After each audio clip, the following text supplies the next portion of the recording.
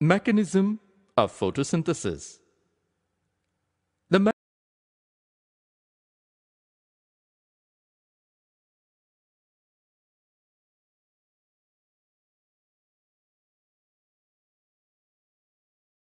The presence of two phases in the mechanism of photosynthesis was first reported by Blackman.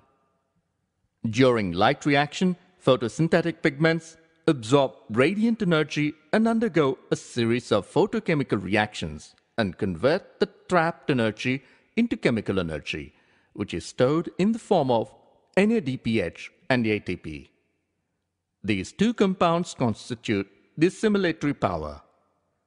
Light reaction is light dependent and takes place in the grana of the chloroplast.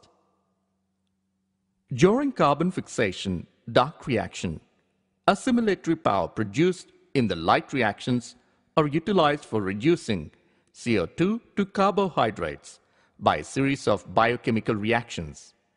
This phase is independent of light and occurs in stroma of the chloroplast. Summary Reactions of the mechanism Light reaction H2O plus ADP plus PI plus NADP plus plus energized chlorophyll gives rise to O2 plus ATP plus NADPH plus chlorophyll. Dark reaction. CO2 plus NADPH plus ATP gives rise to carbohydrate plus ADP plus PI plus NADP plus. Let us see the details of these two reactions. Light reaction. The significance of light reaction in photosynthesis is to drive out the electrons from water molecule to reduce NADP plus to NADPH and to provide energy to form ATP from ADP plus PI. Light phase is a light-induced physical change. It involves two processes, photolysis of water and photophosphorylation. Photolysis of water, photo, means light. Lysis means splitting. Splitting of water molecule into H plus and OH minus in the presence of Mn and Cl by activated chlorophyll.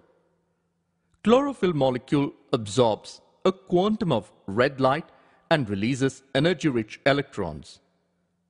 Chlorophyll molecule is oxidized and this state called activated state or oxidized state. In the presence of activated chlorophyll water splits into H plus and OH minus. H2O in the presence of excited chlorophyll gives H plus plus OH minus. H plus plus NADP coenzyme gives NADPH2 reduced. 4OH minus gives 2H2O metabolic water plus O2 plus E minus.